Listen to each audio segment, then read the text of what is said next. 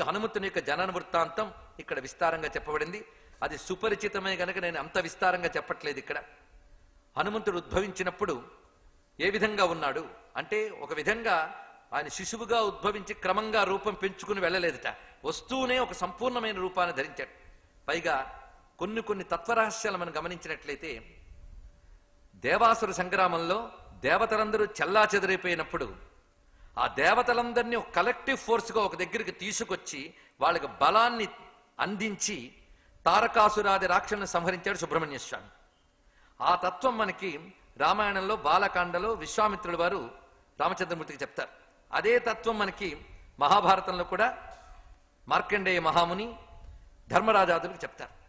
అలాంటి సుబ్రహ్మణ్య తత్వ రహస్యము హనుమత్తత్వము ఒక్కలా కనబడుతుంది మనకి.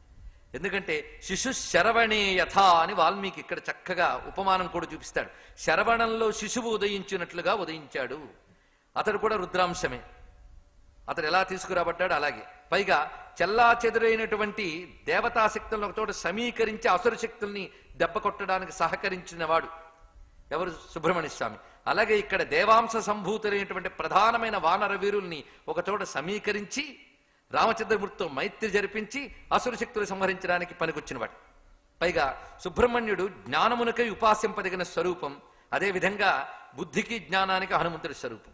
అంటే ఒక దేవతాతత్వం మరొక దేవతాతత్వంతో ఎలాగ మనం మేళనం చేయాలనేది గమనించినట్లయితే వాల్మీకి ఇచ్చిన సూచన శిశుశరవణీయథ ఆ భావం బట్టి ఇక్కడ మనం గ్రహించవచ్చు.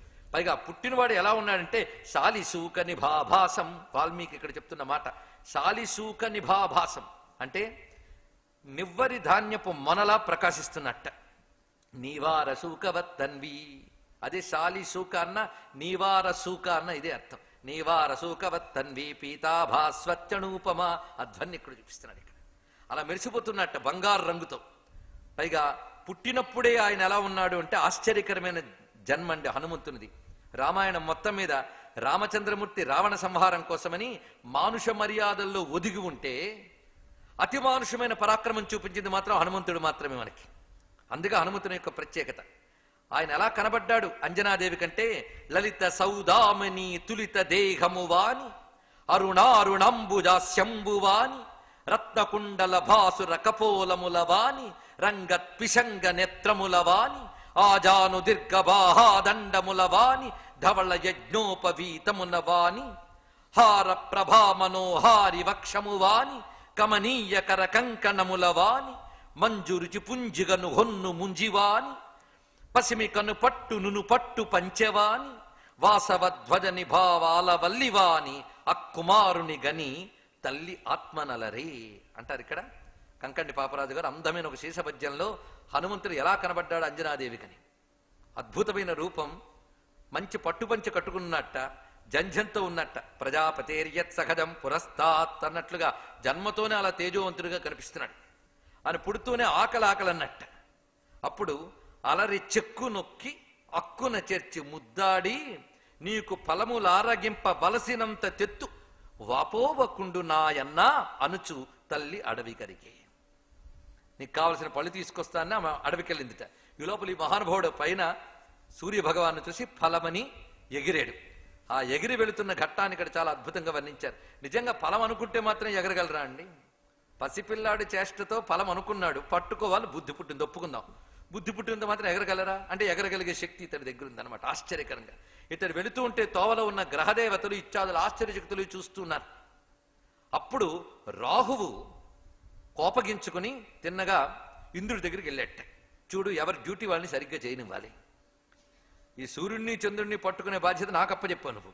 ఇప్పుడు వాడెవడో కొత్త గ్రహం ఒకటి తయారయ్యి వెళుతున్నాడు ఇక్కడ.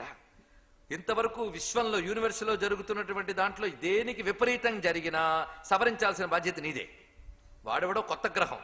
అనగానే ఉన్న ఈ గ్రహాలు చాలక వాడెవడరా బాబు అని హను బయలుదేరట్టే ఇంద్రుడు ఐరావతం మీద. చూసినప్పటికీ ఈయన కనబడ్డాడు. ఇది కూడా మీకు అచ్చం సుబ్రహ్మణ్య జన్నగారితో పోలిక. కంపేర్ చేసుకోవాలి. ఎందుకంటే హైందవ సంస్కృతిలో గమనించవలసింది ఏంటంటే ఒకే తత్వాన్ని వివిధ రూపాలతో అనేక చోట్ల ఉపాసన చేస్తారు. అక్కడ ఆ తత్వం ఎలా కనిపిస్తుందో చూడండి.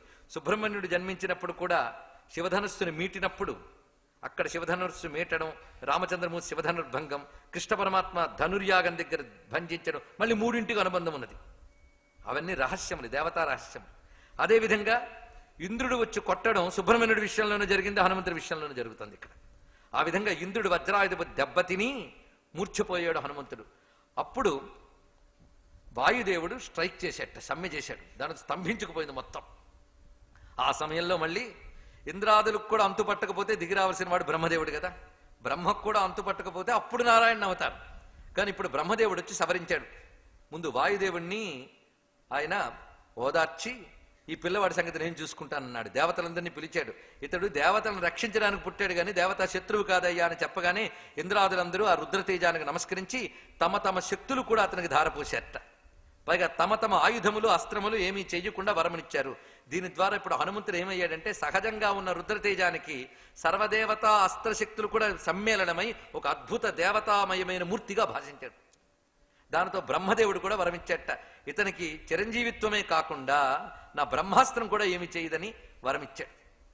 ఇలాగా బ్రహ్మదేవుని చేత కూడా గౌరవం పొందినటువంటి మహాత్ముడు ఆంజనేయుడు. అయితే ఆయన ఎందుకు ఉపేక్షించాడన్న దానికి ఆట తర్వాత వాయుదేవుడు తిరిగి అంజనాదేవికి కేసరికి అప్పజెప్తే వారు అరణ్యంలో పెంచుతున్నారు.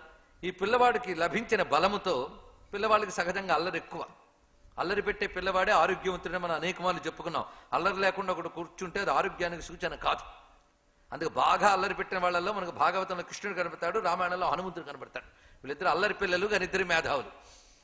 మహామేధావులు. అసలు కృష్ణుడికి హనుమంతుడికి చాలా పోలికలు ఉన్నాయండి అదొక సబ్జెక్టు మళ్ళీ. ఇప్పుడు అసలు హీరో రాముడు గనక హనుమంతుడి గురించి ఆ మాత్రం తెచ్చుకుందాం చాలు.